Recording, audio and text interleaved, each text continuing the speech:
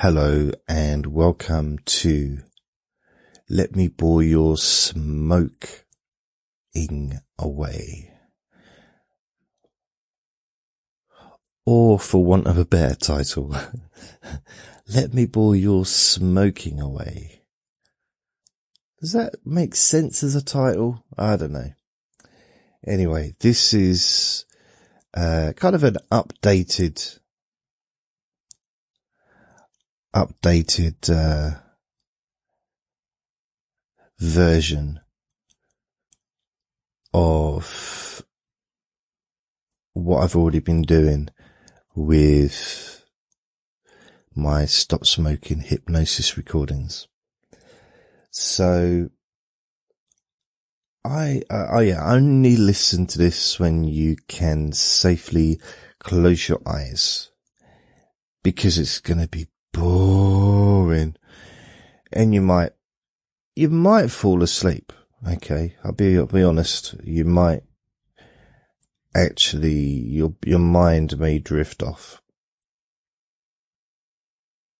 somewhere more interesting, like dreamland. So, what is this exactly? What is this thing that I'm doing here? Well, this is a, a very chatty version of uh, the previous things I've done. So I've actually, this isn't the only boring podcast I do. I do Let Me Bore You to Sleep.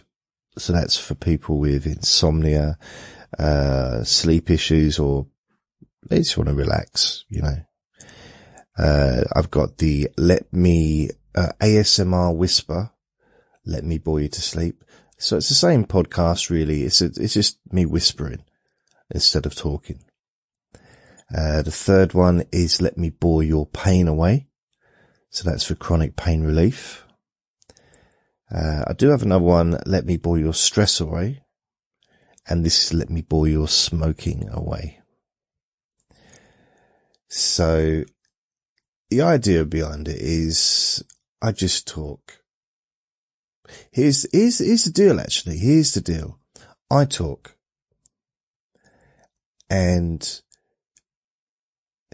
if you, if, you know, only listen if you find benefit from listening. Okay. Only listen if you find benefit. So if you feel better, if you feel more positive, if you feel, uh, more focused on stopping or staying stopped from smoking,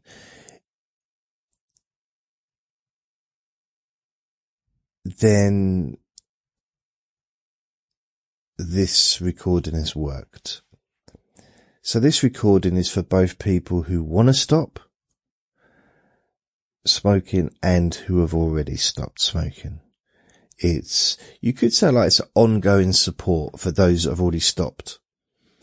Uh, and also an opportunity with every recording to stop, to say, you know what? That's it. No more.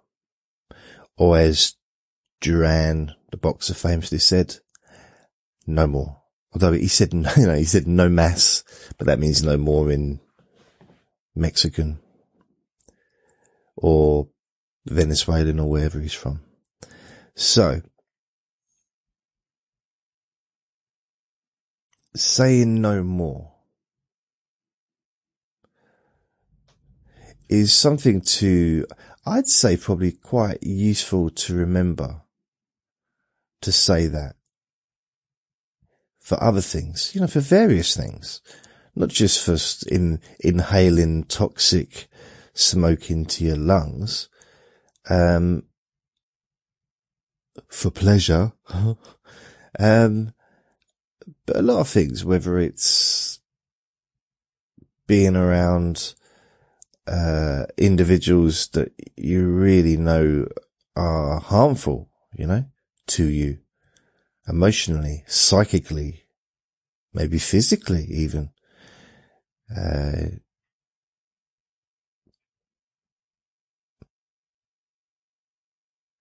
maybe I need to do a podcast. Let me bore your abuser away.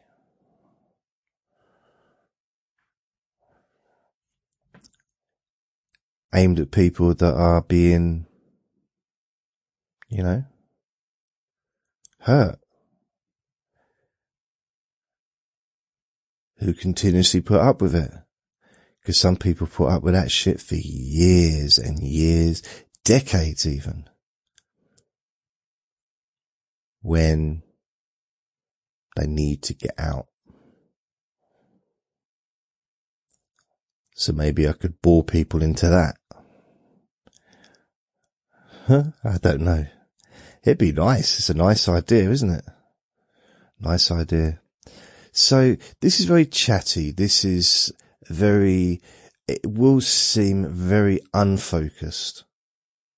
Now, if you really want to listen to an unfocused recording, listen to the Let Me Bore You to Sleep. That is the most unfocused recording I will ever, you'll ever hear me do anyway. This is focused in a sense of it's about stopping smoking, but it's also, or staying stopped, but it's also, you know, eliminating cigarettes from your life, etc. It's also about getting in touch with the positivity or increasing the positivity within yourself, moving forward in life, valuing yourself. Because I, I, know when I was younger, most things, most things happened when I was younger. Uh, oh, everything. So when I was younger, I, I don't think I put much value on my life. I used to smoke, uh, used to take drugs, drink, whatever. And I genuinely didn't care. And I don't think many people do when they're very young. You know, late teens, twenties, uh, early twenties. I mean, the hope is that by the time someone gets to sort of 25, they'll start turning into an adult. But it didn't happen with me. I became a semi-adult when I was in my early thirties. I'm still waiting to become a full adult, I think. It's, it's a very, very slow process for me because I'm pretty, I'm quite immature and I realized that some of the things that I've done over the years,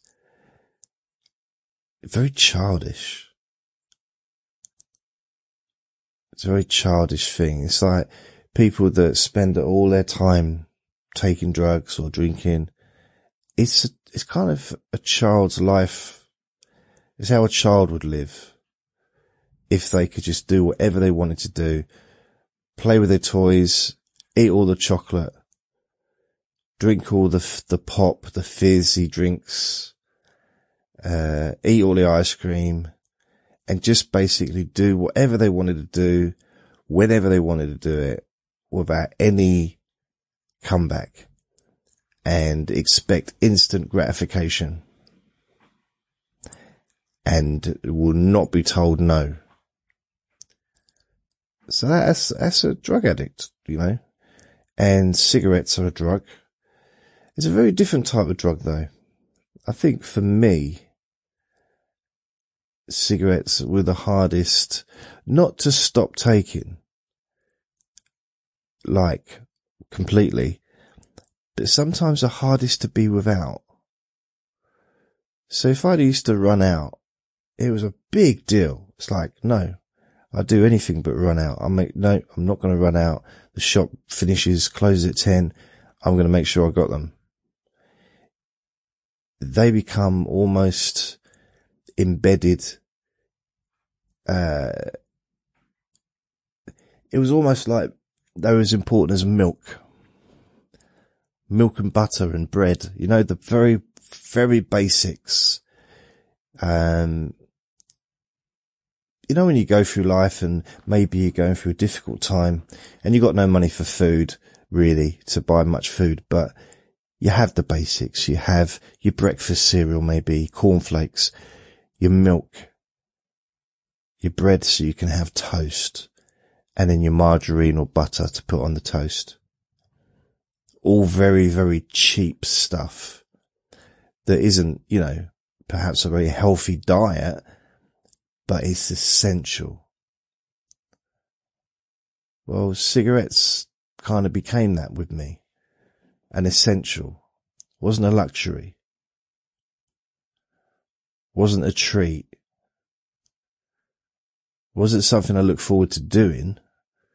You know, it's like, oh, I'll go to the shops and I get that and I'll be, oh, I have a lovely cigarette tonight.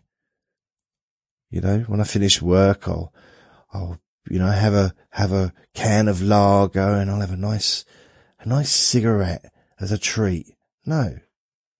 I mean, some people can do that. I know. I know one person that can do that. They don't smoke, uh, haven't smoked for years, but whenever they visit certain people that smoke, they smoke. Buy a packet of cigarettes and that's it. The rest of the time they they don't. I'm not one of those people. I know that. I tried it and it didn't work. I stopped smoking for 17 years and uh, I was around someone that was smoking and I thought, and the thing is, people do offer like, oh, do you want a cigarette? No, I, I told you I don't smoke. Haven't smoked for 17 years. Oh, okay. Do you want a cigarette though? No, I just told you in the end, it was like, okay, I'll have one. I'll just have one. And then like, oh yeah, I can go. I can have one and that's it. And then eventually, oh, I'm knocking everything. Eventually, you know, started again. So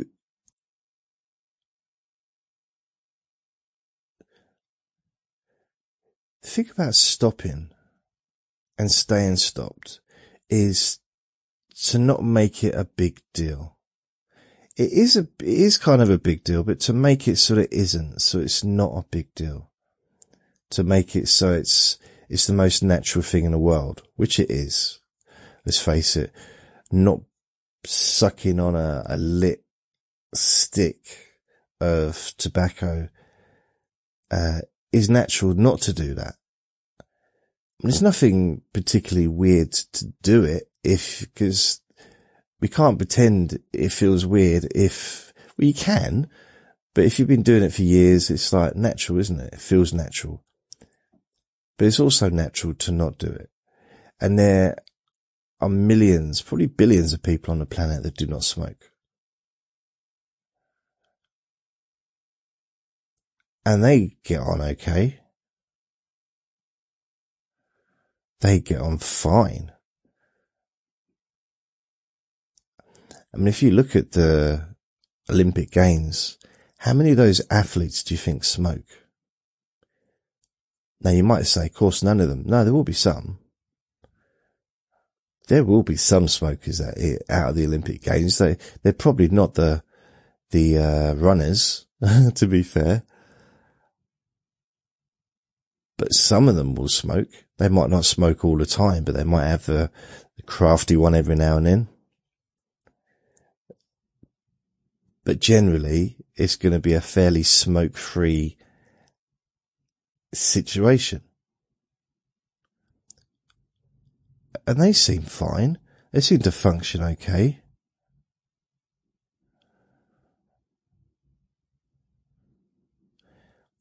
I mean, now in prison, people, they can't smoke. I think they were allowed vapes, but they can't smoke cigarettes anymore. And if they're smuggled in, they cost a fortune. I mean, it's £20 for 10, no, for £20 for 20 cigarettes now, or £22 in the UK. In prison, it's like a hundred pound or something. Plus they smell bad because they've been up someone's bumhole. So you, it's like, I want to smoke, but do I want to smoke that bad? I want that. Aren't these cigarettes supposed to be white? Nope, it's been up my ass. Oh, that's why it's, okay, lovely. Mmm, can't wait for it to dry out so I can smoke it and inhale that into me lungs. It's weird, isn't it? You think about it. The inhaling something toxic. Like on purpose. On purpose, like choosing to do that. Like if you was in a house fire or there was a fire and you, you know, and you choking, you kind of want that to stop.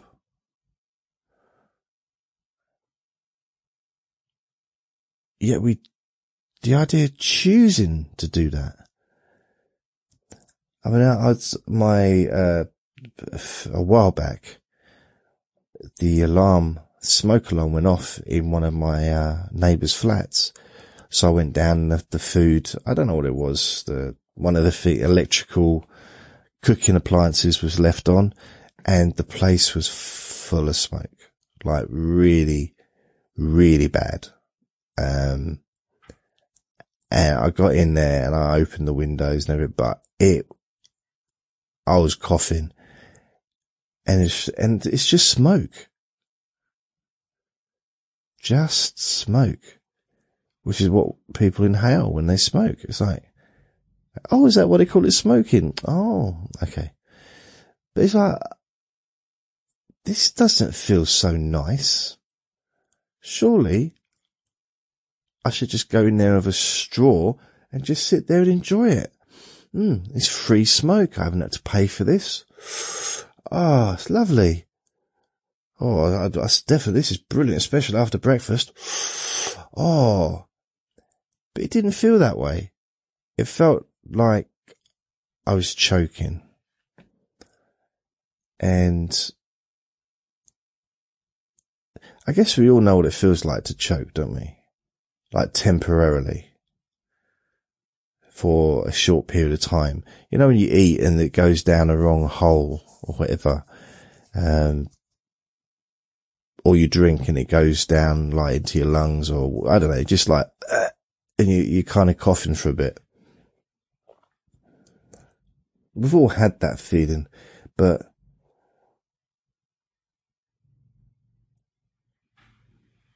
it's, it's almost like, oh, I love that feeling. I want to have more of that when I get older. How can I have more of that feeling when I'm older? Oh no, I'll smoke. You know, I got a friend who's got COPD and asthma and I heard some weird noises the other day. This was two weeks ago. And I, I was worried for my friend's safety, like health wise. So I go downstairs and I see his dog in the garden. So I went out, going to the garden and my friend was in the garden awake. The noises he was making was just him being awake, breathing. And there was oh, like, I can't even do it because it'll make me cough if I try and mimic it. But the sound was awful. Really, really kind of scary. And, and I'm just like, oh, I really, really hope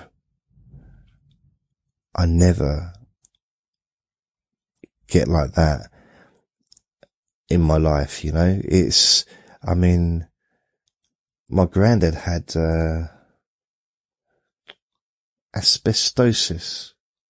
So he didn't smoke. Yeah, he, he tried a pipe, I think, when he was in his thirties, but because he had about 500 children, he couldn't afford to smoke. didn't have enough money to smoke. So he tried it, but then it wasn't that bothered. So he didn't bother anymore. But because he breathed in the asbestos from where he worked, he, um, yeah, he basically was lung cancer and he, he died. Even his breathing didn't sound as bad as my friend's. And it's like, wow.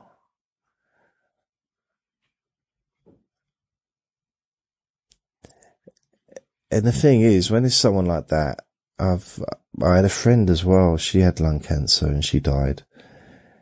And you just want to take it away from them, don't you? You want to like, what can I do?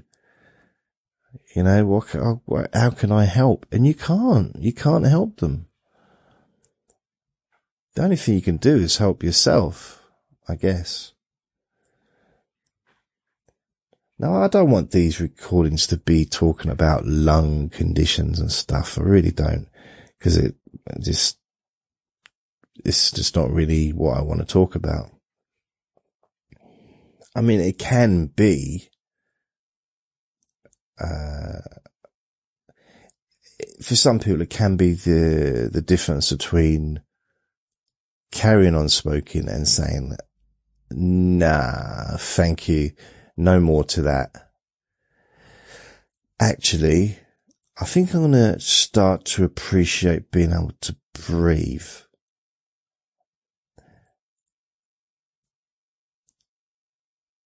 I'll start using my lungs for what they're meant for. I'm just going to take a break and just use my lungs for breathing as an experiment. As a little experiment, I'm going to just use my lungs for breathing just for a little while. Okay?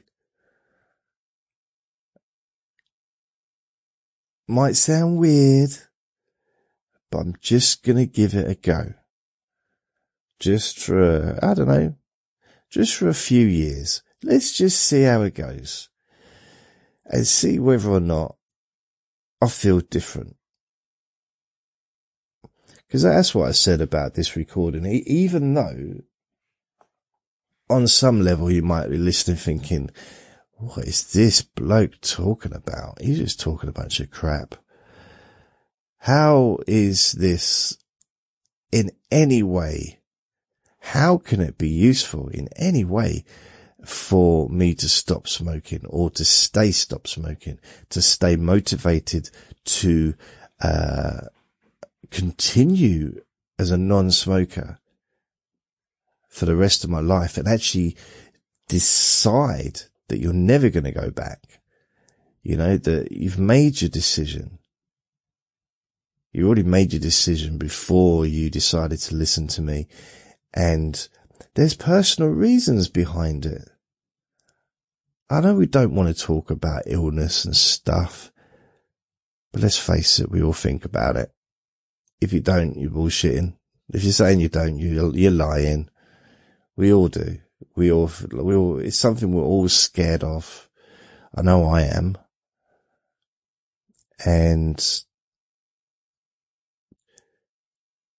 sometimes I mean, you don't have to acknowledge that you're scared of something. There's no, there's nothing wrong with being scared of stuff. I'm scared of stuff. But then there's stuff I'm not scared of. You know, I'm not scared of everything.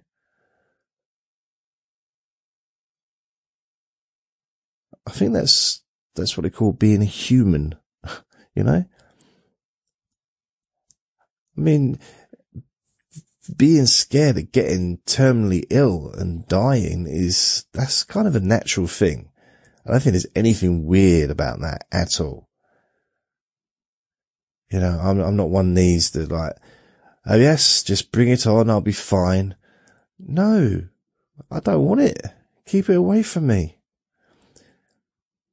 So if you kind of like me a bit and you don't, you don't want to be, you don't want to get ill and you don't want that stuff, then yeah, stopping and being a non-smoker is the obvious route to take, the obvious path to wobble down.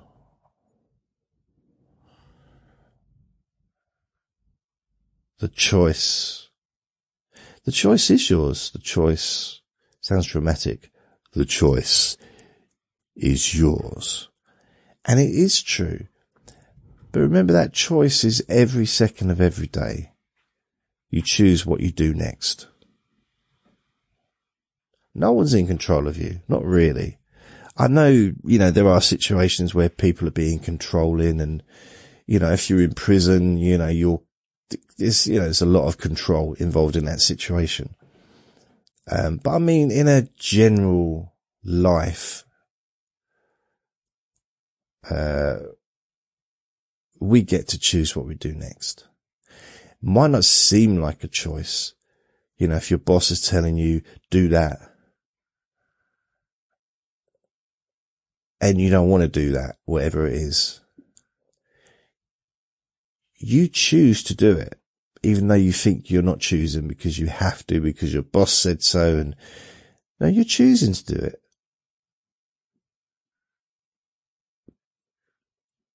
Now, if you, you're choosing knowing that if you went against what your boss is saying, then there's going to be consequences. As there are consequences if you do what your boss says. There's consequences whatever happens, whatever we choose to do, there are consequences. And the idea of those consequences, like it sounds very negative. It's not. It's just you know, everything follows a thing, you know? It's one thing leads to another. It's just, I don't know why my voice is going high. One thing leads to another. And it just can, life is like that, isn't it? It continues. What happens in five seconds, it will be dependent upon what happens in the five seconds previous to that five seconds. And a lot of that has to do with choices. You know, if you, you don't get drunk unless you drink alcohol. You have to drink a certain amount of alcohol. It varies for different people, but you can't get drunk without drinking alcohol.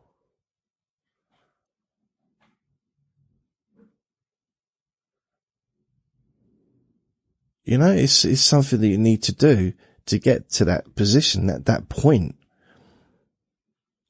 So being drunk is the consequence of drinking alcohol.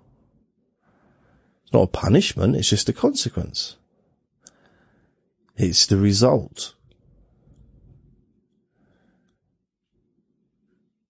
So if I drink out of that bottle of water here, now chances are, because there's a very thin plastic bottle, it will start crinkling it will start. I don't know if you can hear this. Yeah. It's going to make that noise when I drink. I've decided to drink. But now, because I've moved it and crinkled it a bit, it may sporadically, every now and then, make some crinkly noises.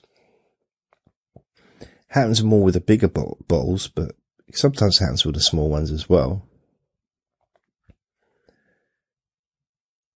But knowing that, I've made that choice. But in the same way, I'm sitting in there. I think the radios may be on and I'm talking. So I need to have drinks. I need to have a drink of water because my, my mouth, you know, my, my voice gets, uh, might get a little bit croaky or my mouth gets, my throat gets a bit dry maybe. So I need to drink water when I'm, when I'm talking. I've noticed that sometimes, and it's weird that just a, a glass or a mouthful of water can actually ease cravings. And I think maybe that's, maybe that's because perhaps we confuse physical sensations, ones that are not connected to craving with craving. So maybe the, the, the sensation of needing water, and a dry throat and needing something connects to the needing or feeling that perhaps we need something else when actually we don't. We just need the water. And then when you feel your throat nice and damp, wet from the water and you've had a drink and you, everything feels much nicer and fresher. And then you take a breath. And it's only when you breathe that you realize what you need your lung, your lungs for. I mean, without, you can't overplay, as I say, you can't overplay the important of your, the importance of your lungs. Oh, he's going to lecture us about lungs now. No, I'm not. I'm really not. Uh, I'm kind of reminding myself, to be fair. They're just so important. And what I noticed is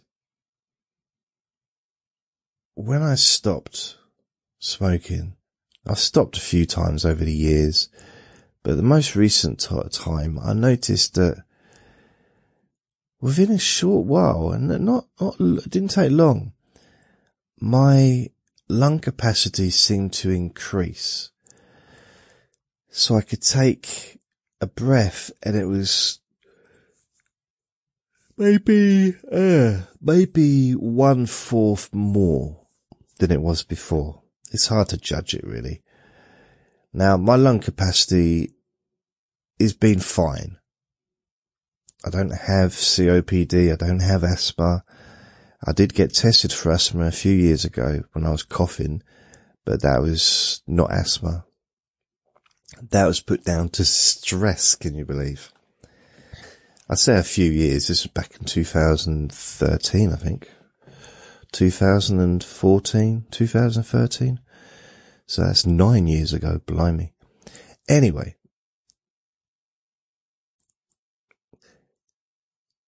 as we get older, our lung capacity reduces a bit. It's just an age thing. It's nothing, I mean, uh, you know, it's nothing we can do about it, really. It's just, I mean, I guess it happens less in people that are super fit. But it's natural. It's just a natural thing that happens with age. Uh, just like I now look very much like George Clooney because I've become super handsome as I got older. It's, it's just one of those weird things that just happens. Yeah, I wish.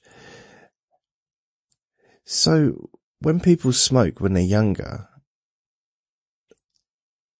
their lung capacity is large anyway because they're young. So they don't notice it so much.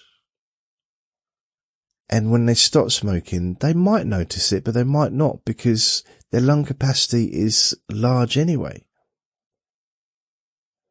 But when you're older, middle aged maybe, maybe in thirties even,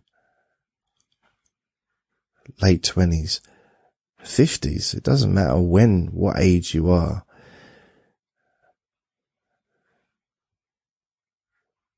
you can really notice the difference after stopping. Now you may be listening to this and agree with me on that one. And I think it's worth remembering as well. I mean, it might just be me, but I don't think it is. Is breathing through your mouth, you can get more oxygen than breathing through your nose. Now, I know it's, for me, that's an obvious thing unless you've got, uh, unless you've got caves for nostrils, you know, unless you've got the biggest, massivest nostrils in the world. Uh, I've got the biggest nose in the world, but my nostrils aren't that big. You're still not going to breathe in as much as you will do from your mouth. It just is more coming in. Now, a way to reduce anxiety is to stop breathing through your mouth and only breathe through your nose for a while because that does the equivalent of breathing into a bag. You know, people that hyperventilate due to stress, anxiety, uh, tension. So breathing through your nose slowly is the equivalent of breathing into one of those bags because there's a limit to how much you can breathe in when you breathe through your nose.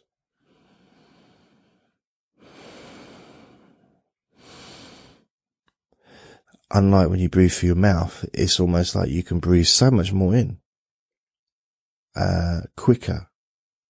It might be the same amount, but slower through your nose.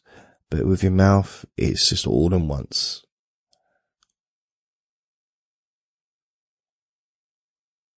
So when you're trying to calm down or, uh, one thing is when you wish to slow down your thoughts, your mind, especially in those moments when maybe you were thinking of going backwards, taking a backward step instead of moving forward towards the kind of healthy, happy future that you really do want for yourself.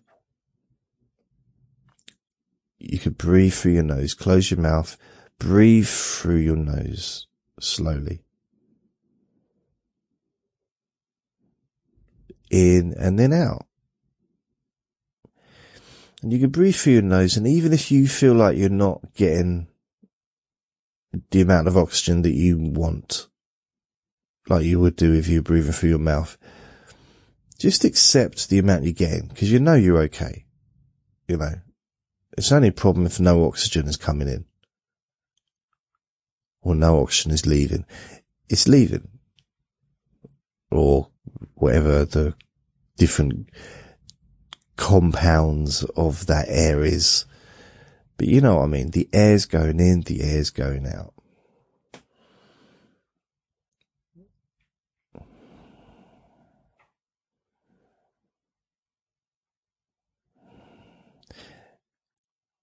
Because it's very hard to breathe really quickly through your nose. In fact, it, it takes a bit of, it would take a bit of practice to actually learn to do it. So we don't naturally do that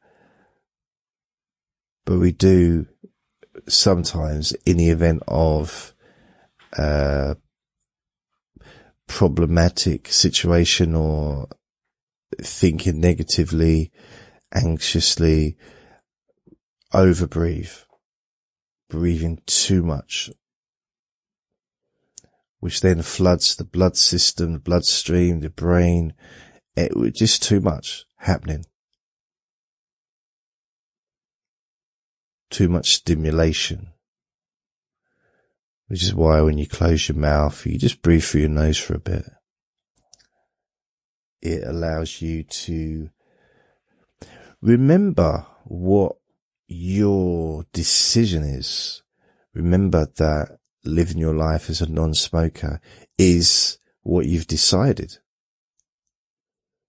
And even if listening to these recordings every now and then, just as a little top up to remind yourself why you've decided to live your life. In fact, you could say you've decided life, decided to choose life. I know it's an old slogan, but it's, it's very valid, really or you've decided to choose breath, decided to choose breathing.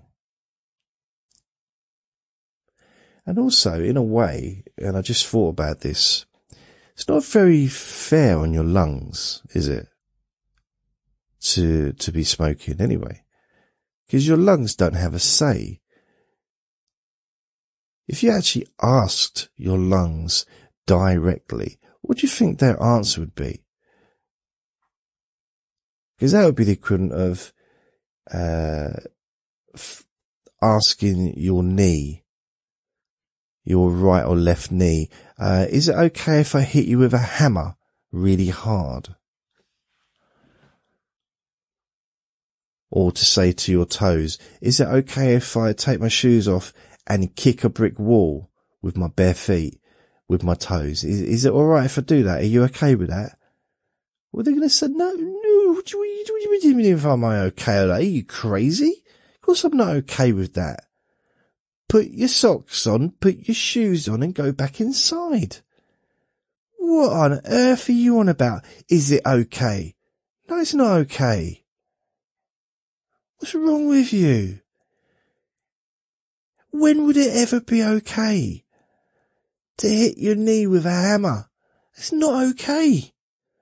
You're not, you think your knee's going to say, yeah, man, that's fine. Yeah, go ahead. Should be, should be a laugh. No. Your knee's going to say no. And if you attempt that, I'm going to hit you in the head. I'm going to knee you in, in the face. You ain't hitting me with a hammer. So, pretty sure, pretty, pretty, pretty sure that if you was to actually ask your lungs,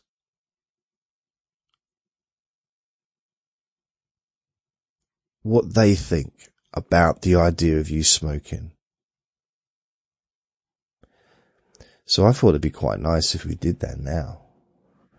So if your eyes aren't closed, close your eyes. And just imagine you're in a room, you're talking to your lungs. And just ask your lungs. And you could just base it, uh, how do you feel about me smoking?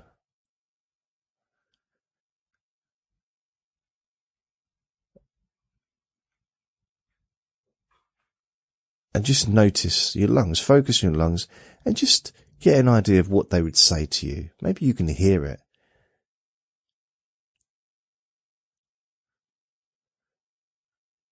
Or you could just basically say to your lungs, do you want me to smoke? Yes or no?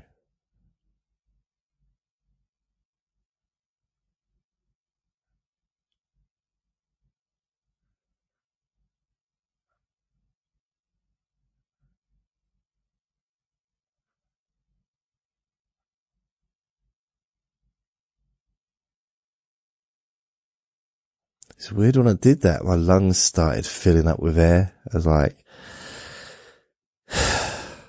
almost, um, just to enjoy doing it. Just to enjoy the ability to be pretty much at full capacity for my age. I don't know what full capacity would be if I was 20, but it feels fairly full.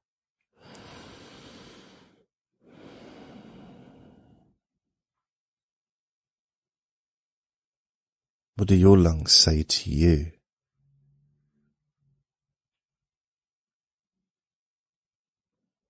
Because basically, if you think about it, it's like hanging your lungs up and then use them as punch bags every day. You know, is that okay if I use you as a punch bag? Ask your lungs that. Is that okay if I use you as a punch bag? What do you think they're going to say? No. You can't use me as a punch bag. What kind of, what, are you on about? Leave me alone. That's the thing. Smokers, they're forcing their lungs to inhale that stuff. They're not getting permission. They're not asking permission to do that. They're just doing it, going ahead. Completely uh, oblivious, actually, to the fact that they haven't asked permission. They haven't considered how their lungs feel.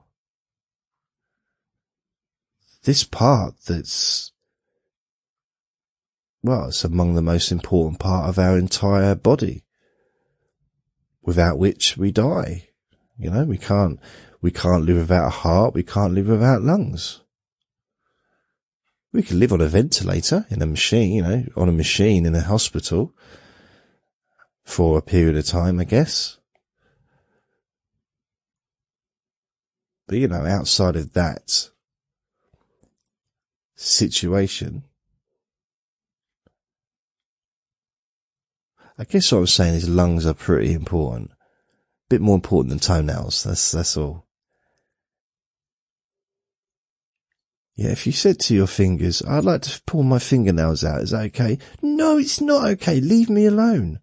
I don't want you pulling my fingernails out. Yeah, pulling the fingernails out is nothing compared to smoking. It's going to cause a bit of damage. It's going to be painful. But long term damage, not nothing. It's weird, isn't it? It's almost like the, because the pain comes later, like it doesn't matter. But if someone said to you, you know, here's, here's the like the most delicious food or dessert you'll ever taste in your life. So you, you, might like ice cream or you might like burgers or you might, there's something that you like. You might like curry. And they said here, and they presented this to you and said, this is the best you will ever taste. The best. And if it's not the best, I will give you £10,000 cash or $10,000. Whoops, banging that. I will give you a new desk that doesn't squeak. And I'll give it to you now. If you tell me you don't enjoy this, it's the best tasting thing in the world. It's yours for free and you can eat it right now.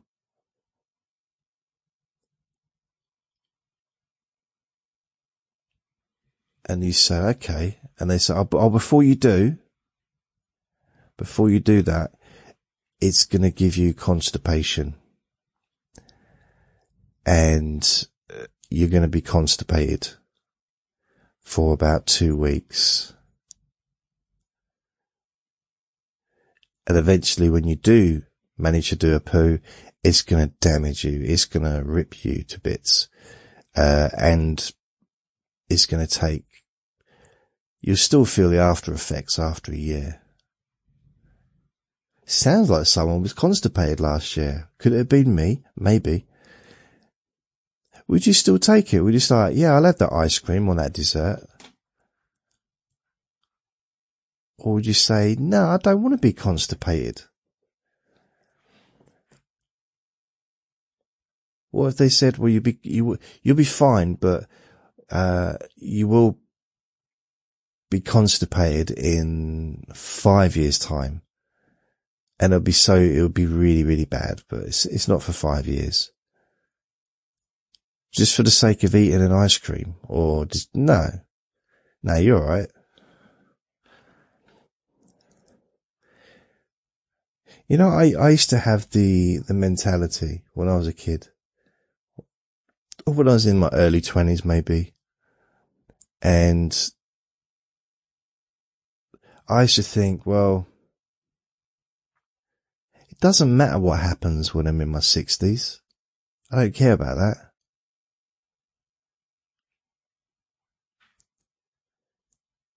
But now I'm 52, my attitude seems to have changed somewhat.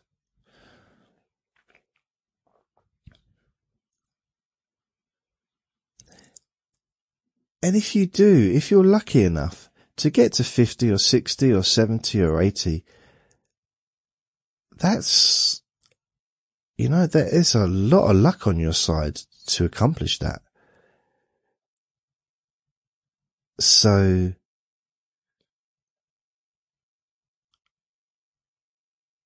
kind of makes sense to, but at the same time, with the longevity and the medicine these days. But no one wants to be 90 and be ill. No one wants to be 80 and be ill. or 70. They want to be physically fit.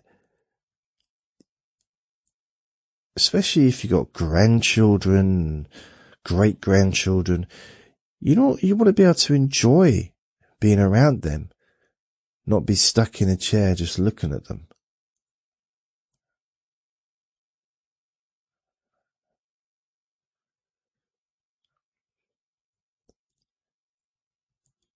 I think one of the good things about making a, a change in your life, it's not even, it's not even so much, I don't think about, um, the topic so much, even, you know, whether it's smoking or drinking, it's a psychological breakthrough. So if you choose to stop doing something or you choose to continue down a path of recovery or feeling better about yourself, things change. Things have changed.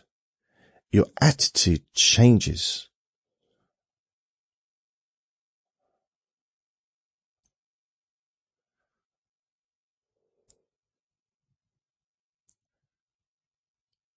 something in your brain changes. And whether it's drugs or it's alcohol, whether it's cigarettes, uh, whether it's, uh, gambling even, you know, it could be lots of different things that, cause you know, gambling can ruin someone's life quicker than crack. I mean, someone can, their whole life can be ruined in, you know, an hour, 10 minutes even. You know, they could lose everything. So when you choose to make a difference, when you choose to, to remember that every second of every day you choose what you do next, when you choose to remember that and no one's forcing you to do anything. Of course, if you, it, you know, someone's like your boss or whatever says do that thing and you say no, then there's consequences. There's always consequences anyway. There's consequences if you do what the boss says or if you don't do what the boss says. It's a case of choosing. You know, if you say no, you may lose your job. So there, you know, that's, that's one of those things. And then there's the roll on effect from that. But then if your boss is telling you to do something that is immoral or it goes against your moral, uh, compass, then that's, potentially a different thing.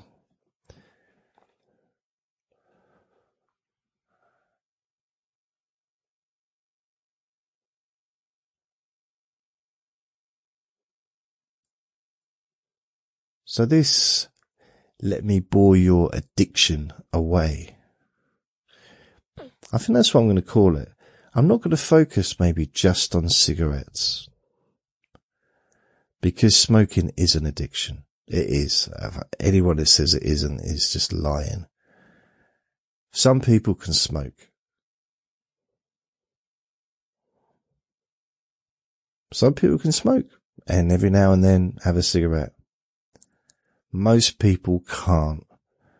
And I'm sticking to that. Now, I may be wrong, but I've been around and I've not really known many people that can take, I've known a few that, you know, aren't so bothered.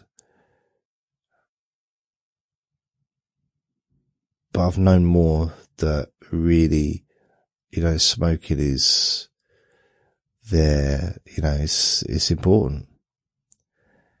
And it's a different type of addiction, you know, it's, uh, I don't think anyone has ever broken into someone's house because they needed money for cigarettes. So it's a different kind of thing. It doesn't send the person, um, it doesn't unlike crack or heroin and even, um, or any drugs really these days,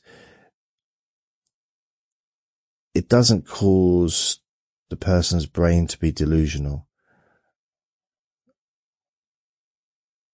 Smoking is almost one of those things that doesn't seem to really affect the brain other, other than the, the need to do it and the connections with smoking and doing different things.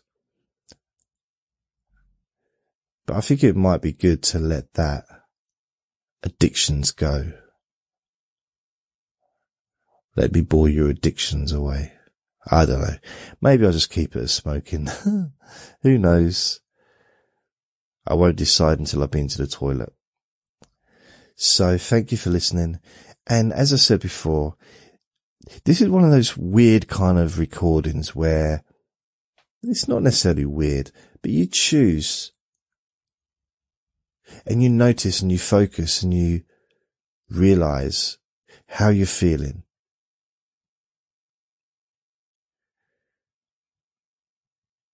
And that question, do you feel better now than you did before you decided to listen to me? Do you feel more optimistic, more positive to stop smoking or to continue down that road of a healthy lifestyle? So remember to be kind to yourself because you deserve to be happy be gentle with yourself. Lots of love. Bye.